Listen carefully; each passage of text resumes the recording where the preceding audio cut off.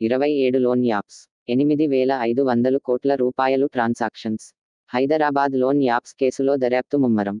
దేశంలో ఒకటి పాయింట్ నాలుగు కోట్ల లావాదేవీలు. రూ. ఇరవై ఒకటి వేల కోట్లు వసూలు.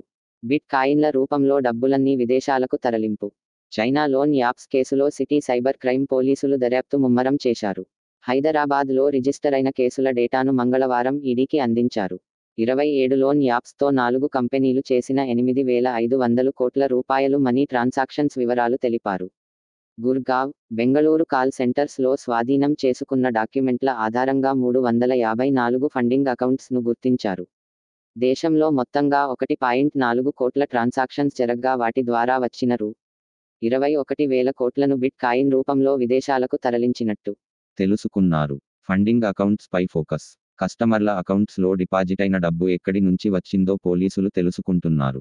ఇందుకోసం సంబంధిత బ్యాంకులకు నోటీసులిచ్చారు. మనీ ట్రాన్సాక్షన్స్ జరిగిన రేజర్ పే గేట్ వేలో రూ ఎనభై తొమ్మిది కోట్లు ఫ్రీజ్ చేశారు.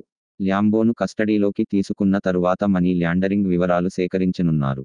ల్యాంబో విచారణ కోసం ఫారిన్ లాంగ్వేజెస్ ట్రాన్స్లేటర్స్ సహాయం తీసుకునేందుకు ప్లాన్ చేశారు. పరారీలో ఉన్న ల్యాంబో కంపెనీస్ ట్రాన్స్లేటర్ ఇంద్రజిత్ కోసం గాలిస్తున్నారు. మూడు వందల ఇరవై అకౌంట్ల డేటా కోసం బ్యాంకులకు లెటర్లు.